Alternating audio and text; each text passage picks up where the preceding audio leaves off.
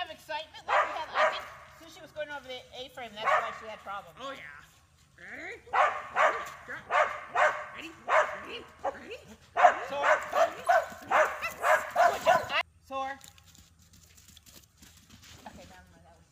I'm like, other than a little bit of hyperextension, is the last one.